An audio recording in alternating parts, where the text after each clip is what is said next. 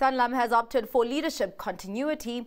The financial services provider says current CEO Paul Hanratty has agreed to extend his term. He will stay in the position until the end of 2027. Hanratty joined Sanlam's board in 2017 and became CEO in July 2020. Some Discovery Insure clients' personal information has been compromised. The company says the breach has affected 20 clients. Sygnia CEO Magda Wierzycka posted on X that she is one of them. Discovery has appointed forensic specialists to investigate.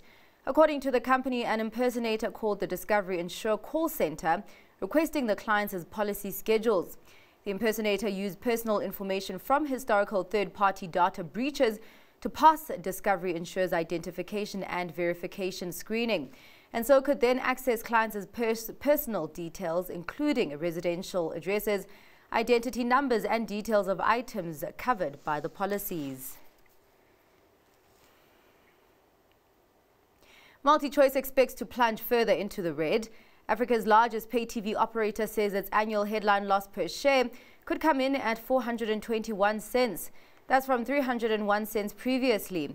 It cited a weak macroeconomic and consumer environment and has also pointed to increased investment in Showmax, along with impact of the sharp de de uh, depreciation in the Nigerian naira against the US dollar. Ninety One CEO says he favors a government of national unity. Hendrik du Toit says that cooperation is needed and President Cyril Ramaphosa must lead and not follow. The comments from the head of one of South Africa's largest asset managers come after last week's election where the ANC lost its majority. This has prompted the party to explore its options such as forming a coalition government or creating a government of national unity. Financial markets are expected to remain unsettled as the ANC explores its options, but Du Toit says markets are currently pricing in a positive outcome with a downside risk if the situation goes sideways.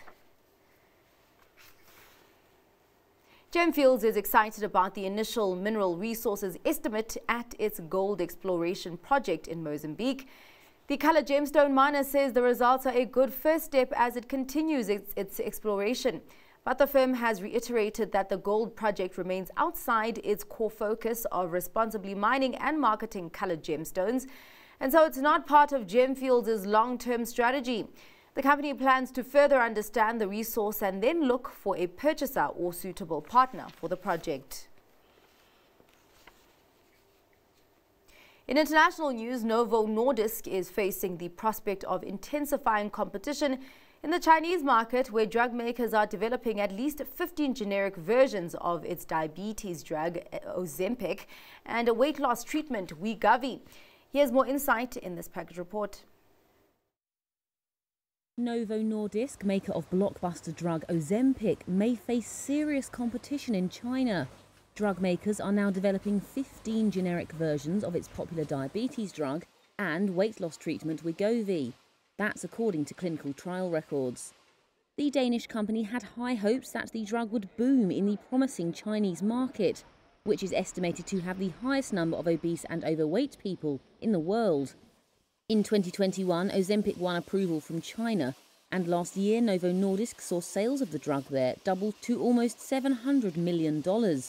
It's expecting Wegovy to be approved this year. But the patent on semaglutide, the active ingredient in both medicines, expires in China in 2026, which is far ahead of the expiry in other key markets like Japan, Europe, and the US.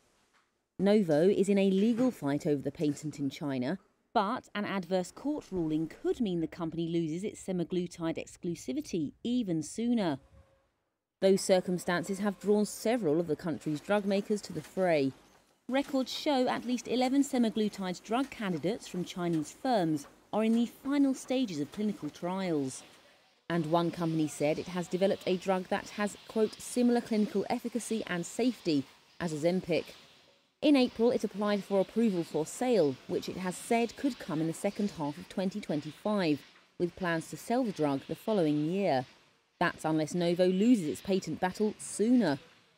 A Novo spokesperson said it, quote, welcomes healthy competition and was awaiting a court decision on its patent case. And we're still in election season, and today voting in the Netherlands has started as the 27 EU member states go to the polls to vote in a new European Parliament. Here's our reporter Dowling Lachela with further detail. Dowling.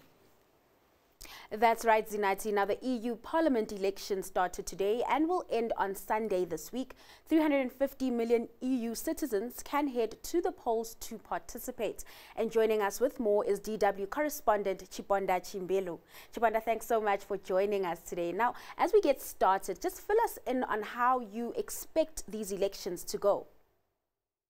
Thanks for having me.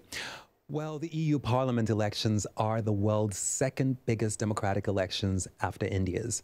Around 450 million EU citizens can vote. But while election posters have been up for weeks, the interest in the elections isn't very high. Here in Germany last week, a leading poll showed that around a quarter of voters are not planning to vote. And the fear is that if fewer people vote, the Eurosceptic far right AFD party could perform well. However, the party has been hit with many scandals in recent weeks, and it was even kicked out of the European Parliament right wing party group. Now, at the European level, we have seen a stronger alliance between far right leaders from Italy and France, Giorgia Meloni and Marine Le Pen. And in France, Le Pen's far right RN is leading in the polls ahead of French President Macron's Renaissance Party. Now, what topics will uh, voters be looking at in particular here, uh, Chiponda? Well, if we look at the election campaigns, it has been dominated by security and defense matters. And that, of course, is due to the ongoing war in Ukraine. But across all the 27 EU member states, opinion polls show that economic and social policy will influence how people cast their ballots.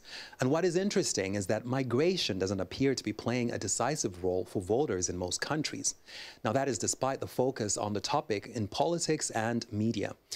The economy appears to be front and center. The post pandemic economic recovery here in Europe has been bumpy, and that is largely due to the fallout from the war in Ukraine. And of course, governments are trying to raise defense spending at a time when their economies aren't doing that well. Now, that has meant that spending for social services and welfare has not been rising.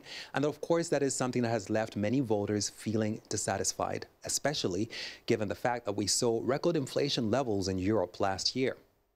Now, before I let you go, let's just reflect on what the outgoing parliament actually achieved. Well, it hasn't been an easy five years, that is certain. Britain left the EU at the beginning of 2022. Then, of course, came the COVID 19 pandemic, and Russia's ongoing war in Ukraine started in early 2022. Now, all of that was unprecedented. And despite these challenges, the EU Parliament did manage to get some things done.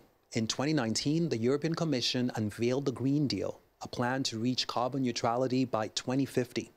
Brussels also came up with legislation aimed at reining in the power of big tech.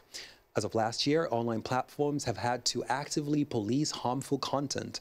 And in 2024, the EU Parliament came up with the world's first AI regulation. And this year, European lawmakers, of course, were also able to reach a compromise on migration and asylum policy after a decade of debate. Now, of course, voters have a chance to give their verdict of what they make of the Parliament's work in the last five years. Chiponda, let's leave it there. Thanks so much for your time and those insights. That was Chiponda Chimbelu from Deutsche Welle.